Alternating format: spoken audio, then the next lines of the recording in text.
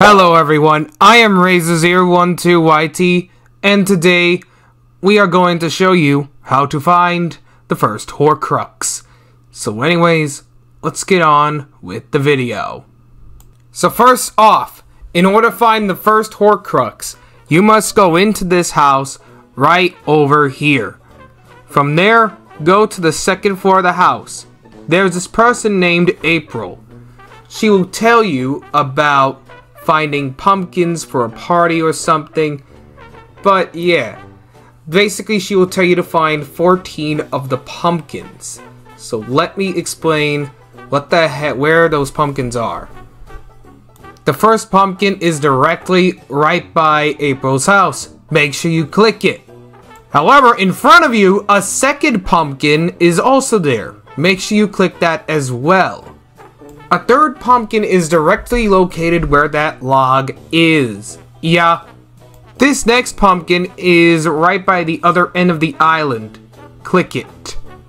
There is another pumpkin nearby, but it's outside of a wall. This next pumpkin is right behind Autumn's house. Click it. Well, because of reasons, yeah. This uh, next pumpkin was uh, here a few scenes ago, but now I'm gonna mention it. This next pumpkin is right nearby the mine and the guards. Click it. This next pumpkin is on top of this house. I suggest you parkour on top of it or use the golden path to collect this one. Right over here by the bottom of the hill is another pumpkin. Yeah, make sure you click it too.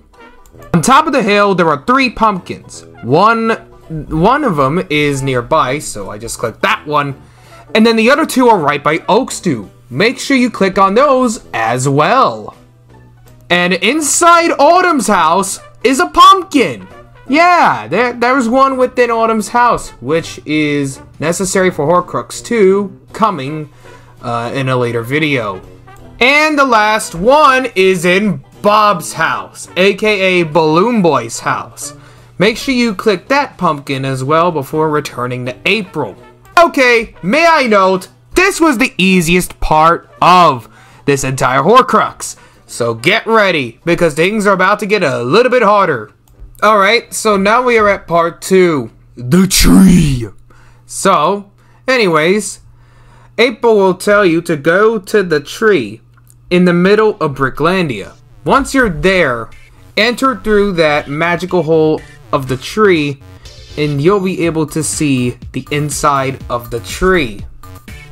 Now, what do you do in there? That's the big old question. Well, I have a really good idea of what to do next, so stay tuned. What you're gonna wanna find next are three cakes. The first cake is in this bedroom. Make sure you click the cake right there so that it counts. There is another cake by the entrance, which I didn't know was clickable, so make sure you click that as well when you enter. The last cake is in the gaming room. It's a little bit hard to find, but once you look around hard enough, it should you shouldn't really miss it. Yeah. Now, once you have all three cakes, make sure you click the dinner plates within the dining room. That way, you will trigger the text to say, don't forget to take the remote, and all that. The remote is located in this drawer. Be sure to take it, for you're gonna need it for something else. Now here's what you gotta do next. Go into this room within the tree thing, sit down and, and press E, like press E to sit down, to watch TV. Now this TV is very strange. What's strange about it? Well, basically the TV shows a string of colors. Those string of colors lead to a code. Now where is this code used? I'll tell you in a bit, but first I want to mention something. Please make sure you record the colors. Make sure you write them down, record some record with OBS, record with Medal, I don't care. But make sure you make sure you record your colors so that you could use it for what's coming next right now. So once you do all that, watch the TV and all, go upstairs to this bedroom. This is where you will do some color code things. Remember the colors from the TV? Put them in the order, like click them in the order that the TV presented them. Once you do it in the correct order, it should say success or something. This will also trigger something else as well. But also, I want to mention something. This color code is different for everyone, so yeah, don't use the code from this video, okay? Don't do it. Once you have done the shirt code and all the shirts turn green, head for the library. Well, on this drawer is a key.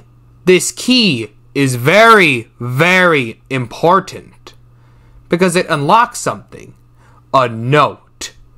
When you click the note or you open the drawer, it will say a series of colors.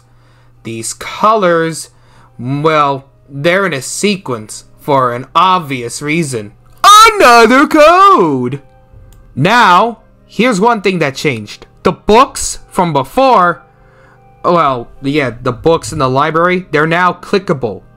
Just make sure you click them in the right order as the note tells you to. For example, if it says New Yeller first, you click New Yeller. But don't do what I do because, well, the code may be different or the same depending on what is going on. I will let you know if there are any changes in the description or the comments section below.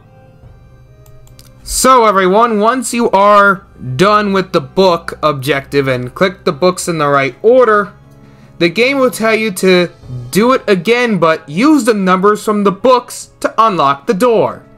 AKA, do what the note tells you to again, only this time, read the numbers and put the code in on the basement door. If you put it in correctly, it should lead you to a boss battle, aka the Minecraft Spider Queen. Okay, this is the part where you have to defeat the spider. If you aren't as experienced as I am, it is recommended you bring healing potions and Buffy potions with you so you can sustain more damage and try to defeat the boss for as long as you can. The spider will and can drop webs that try to pursue you, drop webs scattering around the map, or make a big giant freaking web to try to slow you down to stop you from actually killing the Spider Queen. Upon defeating the spider, you will get the first Horcrux. Be sure to destroy the Horcrux at a nearby Horcrux destroyer. Yeah. Anyways, folks, uh, this ends the first Horcrux guide. The second and third Horcrux guides are within, are along with this guide. So yeah. Anyways, if you have liked this video, please comment, like, and subscribe, and join my socials down below. Anyways, folks, good day, good night, and I will see you then. Bye-bye!